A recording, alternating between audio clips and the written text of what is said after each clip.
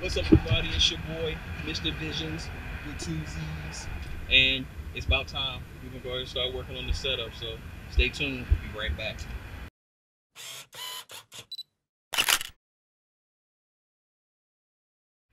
What's up, everybody? It's your boy, Mr. ViZionZ, with two Z's. So yeah, so today we're gonna start out with um, working on the front sound stage of the Acura. Um, I have a few minutes. I have about an hour and some change. I'm out here practice with um, my kids at Atlanta Drum Academy, so I got about an hour and 15 minutes. So what a better time than to go ahead, you know, let's go ahead and get this thing cracking.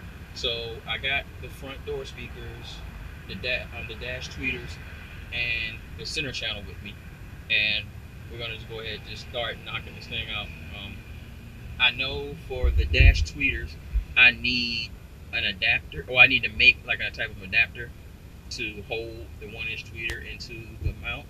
So I have, and I'll, I'll get into that later, but I don't know if I'm gonna have time to work on that today or not. So, but right now, we're gonna start with these doors. So basically the doors in the, in the MDX, uh, second gen MDX, they, it's, they're pretty simple to take out. So you have, what? No. Say hi. Hey y'all! Alright. So um. Anyway, Desi Crew, Rihanna, go follow. Uh, Rihanna, well, they, they got channels. Anyway, I'll put them. I'll link them in the description. So it's pretty easy to do. Um, there's a plate right here that comes out. It's a little, I don't know if you can see it, but it's a little clip right here. You clip that out, and there's two screws here, and then you pull this out off, and there are several screws behind here, Phillips head screws right here. And then once you do that, you just lift the door card off and basically have full access to it. So, no, we ain't wasting no time. Let's just get to it.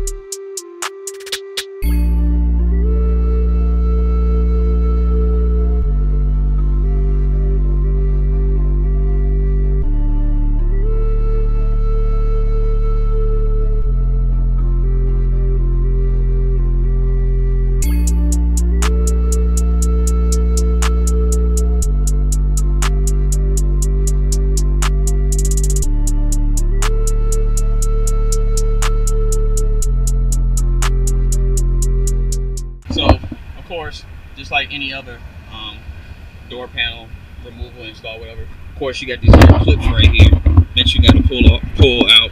They were just giving me a little bit of a hard time. I'm gonna go ahead, pull it off, and then I'm gonna get back to you when I once I get off. All right. As you can see, got it off, and had to unplug these for the side view mirror and for all the other controls. Just push the little button, comes right out. But one thing I'm noticing, it has a good amount of insulation right here, so definitely good for sound deadening and stuff like that for the cabin. But so here, here they are, the factory speakers, and let's just say they leave a little bit to be desired. But um, you know, it's, it's factory. It's a good material though, and nice rubber surround, and they have like a, a much smaller neodyne and much smaller but pretty efficient neodyne pretty sure I'm pronouncing that wrong. Um, magnet.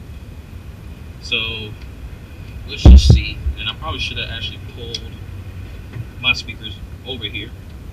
But I got those in the back. So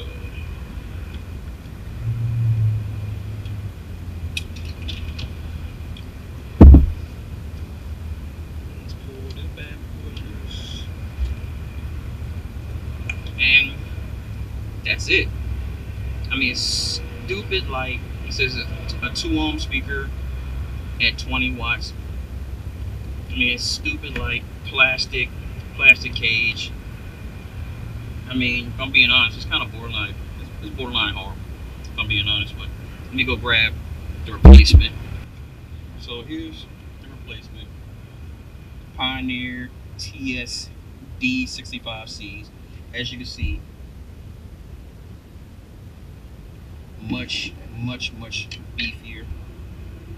Okay, hope you can see that. But much, much, much beefier. Metal, metal diaphragm cage and all that. So, and to make this go even easier, I picked up a set of um, adapters. So I don't have to cut the wires. I can just plug, basically plug and play. Try to keep this thing as simple as possible. So the only thing I see that may be an issue is the fact that my mounting holes only has three mounting points here, and I did not bring my drift, which I actually meant to bring because I already knew this, but it's no problem. So what we're gonna have to end up doing probably, I'm gonna have to just kind of manhandle it and make my own screw holes, make one, make one screw hole, and just kind of roll away from there. Yeah, that's probably. I might have to make all my screw holes. Which, which means we need strong, longer screws.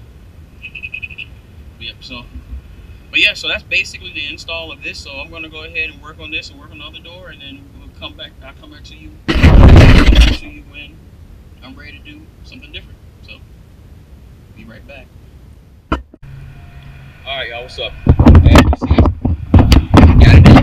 I'm using three screws, and so the adapter has these slots that will kind of hold it fairly well. Um, when I get home, I'm gonna probably um, when I get home, I'm probably gonna actually go back and take this back off and put and drive some screws long enough to go all the way through, so I can actually have a good hold. But it's on tight now, and I played it, and it's not and it's not vibrating or anything, so I'm pretty cool with it. Um, from what I can tell, the sound it's a little bit lower to be expected, being that being this is a four ohm driver and the door, this door speaker is actually a two ohm driver, so I kind of expected that, but I'm not too worried about it because I'm to be putting an amp in here um, soon anyway, and that will take care of any type of issues I have with like lower sound. And then I can also wire it parallel to get you know the right load and everything that I want. So, but no, pretty easy. I'm gonna go ahead and repeat the other side, and when I come back, I'm gonna go and tackle that center channel next. All right, stay tuned.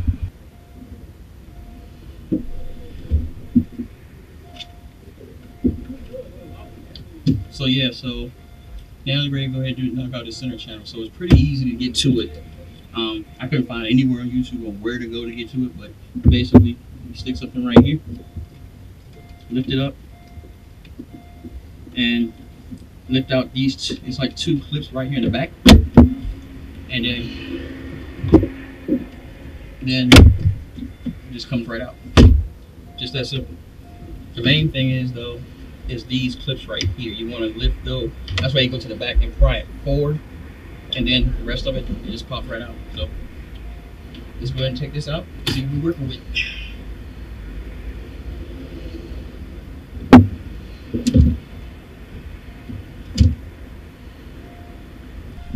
All right, so you can see we got two screws, 15 watts. This is a four ohm, so we shouldn't notice any difference in sound from here. So let's go ahead and pop it off and let's see we. Just like that. And we got the original plug on here. I didn't want to cut it, but it's fine. I could only bought only bought enough enough a tweeter adapter just for the tweeters, so the two tweeters, so it's fine. And I cut it in such a way so that I have enough. If I need to rejoin it, I can just rejoin it, join it. So just want to get it back. Just gonna slide back in. Let's see what we can see. Let's check out see what we sound like. Of course, I can't let y'all hear. It wouldn't really make a difference anyway because I want a GoPro for one. Number two, copyright. So, but believe me, once I get everything in, um, I'll definitely, um, I'm gonna definitely maybe do some sound clips, some high quality sound clips, some non-copyright music. So, um, but anyway, yeah, I'm gonna go ahead and slide it back in, and there's really not much more to see. So, you know, next we're probably gonna, I'm gonna tackle probably the, the rear speakers, and then after that we'll probably tackle the head unit. So I don't know exactly what we're gonna do yet, but anyway, thanks for watching. Thanks for subscribing. If you haven't subscribed, go ahead and hit the subscribe button, hit the like button, and comment below, man. Let me know how what you think. Let me know what I could have did better, or you know, if you got some questions, whatever, hit me up. You know, let's talk about it. Anyway, it's your boy, Mr.